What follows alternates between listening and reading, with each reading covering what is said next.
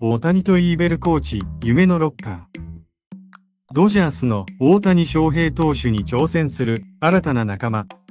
山本由伸投手、25歳がオリックスからポスティングシステムで移籍してきました。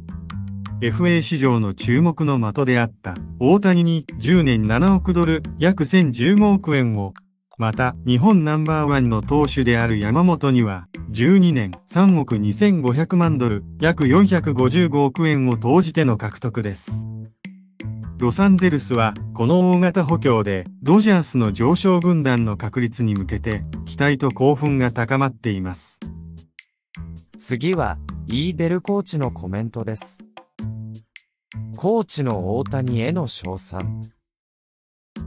大谷とプレーした1年はもちろんドジャースに来てからもかの野球選手としての力強いプレーに感嘆しています。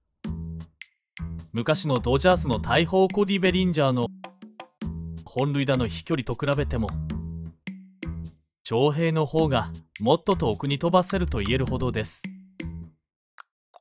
WBC での感動的瞬間。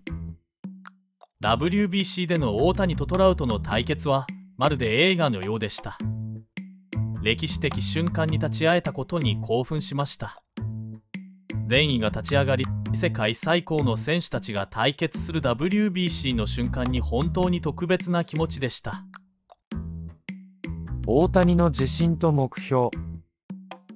5年前大谷がメジャー引く1年目の頃相手が誰であろうと彼は恐れず自身に満ちているように見えました大谷自身も WBC 優勝後の会見で、今日勝ったからといって目標が達成されたわけではないと語っていました。